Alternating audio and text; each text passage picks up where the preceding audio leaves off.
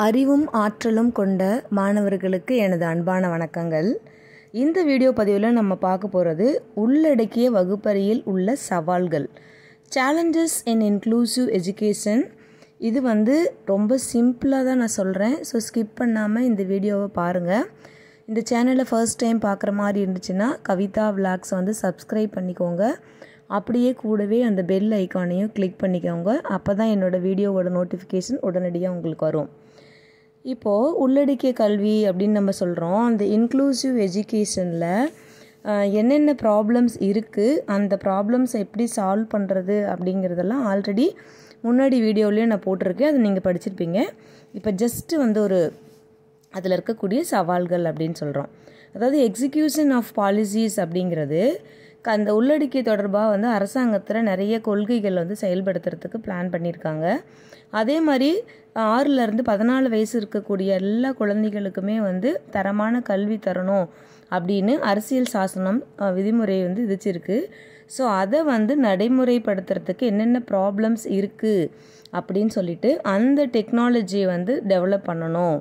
ரொம்ப இன்வால்மெண்ட்டோட செய்யணும். அந்த கொள்கைகளை வந்து செயல்படுத்துறதுக்கு டீச்சர்ஸ் பேரண்ட்ஸ் அந்த ஸ்டூடெண்ட்ஸ் பேர் குரூப் எல்லாமே வந்து சப்போர்ட் பண்ணணும்.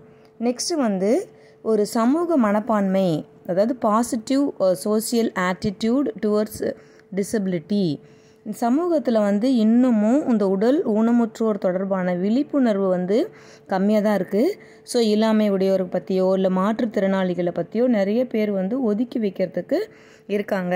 ஸோ அந்த நேர்மறை மனப்பான்மையை அகற்றி சமுதாயத்தில் ஒரு பாசிட்டிவ் ஆட்டிடியூடு டெவலப் பண்ணணும். நெக்ஸ்ட் வந்து பேரண்ட்ஸ் வந்து பார்த்திங்கன்னா சில பேர் அந்த குழந்தைங்கள அவங்க படிக்கிறதுக்கோ இல்லை ஏதாவது ஒரு சமூக விழிப்புணர்வு நிகழ்ச்சி நடந்துச்சுனாவோ இல்லைனா வந்து கவர்மெண்ட் வந்து நிறைய அவங்களுக்கு வந்து என்னென்ன சலுகைகள் இருக்குது அப்படின்னு சொல்லிட்டு ஆடெல்லாம் கொடுக்குறாங்க. அதை வந்து அவங்களுக்கு கொடுக்கணும். அந்த குழந்தைங்கள எதிர்க்கிறத விட்டுட்டு நீ ஒன்றும் படிக்க வேண்டாம் போக வேண்டாம் அப்படின்னு எதிர்க்கிறத விட்டுட்டு அவங்களுக்கு சப்போர்ட் பண்ணணும். நெக்ஸ்ட்டு வந்து பார்த்திங்கன்னா டீச்சர்ஸ்க்கும் அவங்கள ஹேண்டில் பண்ணக்கூடிய அந்த கையாளக்கூடிய திறமையை வந்து வளர் வளர்க்கணும்.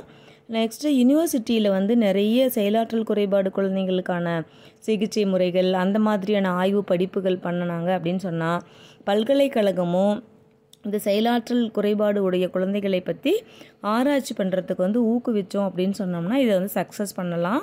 ஸோ சக மாணவர்களும் இதுக்கு சப்போர்ட் பண்ண